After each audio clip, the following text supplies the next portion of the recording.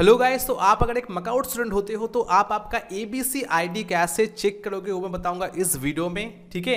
तो सिंपल आपको क्या करना है मेंबर्स एरिया में जाना है, आपको सिंपल लॉगिन कर लेना है। लॉगिन करने के बाद स्टूडेंट बेसिक डिटेल्स जो ऑप्शन है, इसमें जाओगे, इसमें क्लिक करोगे। क्लिक करने के बाद आप लोग देखोगे, एकदम नीचे आपका A B C I D automatically generate हो गया है।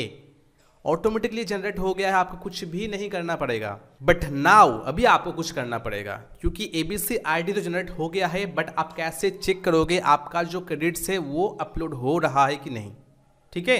तो कैसे चेक करोगे? तो चलिए जाते एकदम डिजी लॉकर पोर्टल में। तो आपका अगर पहले से ही कोई डिजी लॉकर अकाउंट है तो आपको सिंपल साइन इन कर लेना है। अगर नहीं है तो साइन अप करके आपको अकाउंट बनाना है, उसके बाद साइन इन करना है। ठीक है? बट अभी अगर आप लोग ये पूछते हो, भाई एकेडमिक बैंक ऑफ़ क्रेडिट यानी एबीसी आईडी होता क्या है? तो इसके ऊपर मैं ऑलरेडी वीडियो बना दिया, एकदम फुल वीडियो जाके प्लीज़ देख लेना। उसके बाद आप लोग जान पाओगे ये आपको क्या क्या हेल्प करेगा। ठीक है?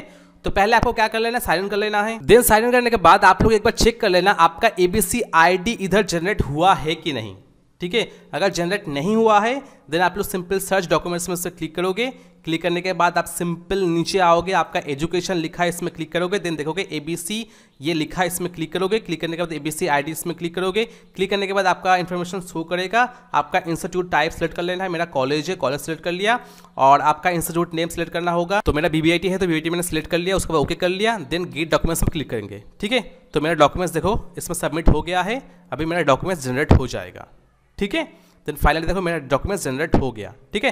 इधर से आप लोग सिंपल डाउनलोड कर पाओगे ओके तो सिंपल ये तो क्या आप लोग चेक करोगे, आपका जनरेट हुआ है कि नहीं? और ये वाला जो आप लोगों को फाइनल मिलेगा, इसको डाउनलोड करके प्रिंट आउट कर रखना, ताकि अगर कॉलेज आप लोगों को माँगता है तो आप लोग दे सको, ठीक है? तो अभी तो आप लोगों का एबीसी आईडी कार्ड बन गया है तो अभी कैसे चेक करोगे आपका क्रेडिट स्कोर ठीक है? तो सिंपल आप लोग A B C dot G O V dot in इस ऑफिशियल वेबसाइट में आओगे देन माई अकाउंट में क्लिक करोगे स्टूडेंट में क्लिक करोगे, और सेम जो आप लोगों ने डिजिटल लॉकर में mobile number and pin code use किया है वही आप लोगों को डालना पड़ेगा। अगर नहीं है तो साइन अप फॉर मेरी पहचान इसमें क्लिक करोगे।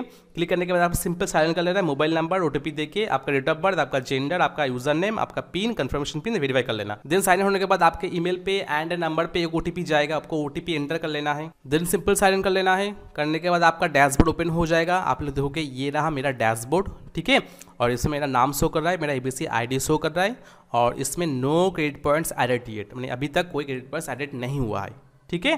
तो इसमें बताया गया please provide your ABC ID to academic institute to reflect your credit points here okay so मेरा जो ये एबीसी आईडी है, वो मुझे कॉलेज को सबमिट करना होगा। देन मे बी इसमें क्रेडिट ऐड होना स्टार्ट हो जाएगा। ठीक है? तो एट फ़र्स्ट आपको क्या चेक करना है? आपको मैकआउट में आना है देन आपको देखना पड़ेगा, आपका इधर एबीसी आईडी शो कर रहा है कि नहीं। तो अगर नहीं कर रहा है तो आप लोगों को एज सुन एज पॉसिबल ये वाला जो प्रोसेस मैंने बताया डिजिटल लॉकर में जाके आपको कॉलेज एंड नेम सबको सिलेक्ट करके आपका एबीसी आई जनरेट करना होगा। जनरेट करने के बाद जो फाइनल आप लोगों को पीडीएफ मिलेगा, उसको प्रिंट आउट करा के कॉलेज में सबमिट करना होगा। तब आपका जो अकाउंट स्टूडेंट पोर्टल है, उसमें आप लोगों का एबीसी आई शो करेगा। ठीक है? तो यही था simple sir process I hope video अच्छा लगा होगा। तो अगर अच्छा लगा है तो एक लाइक कर देना। चलो मिलता है नेक्स्ट बाय टेक केयर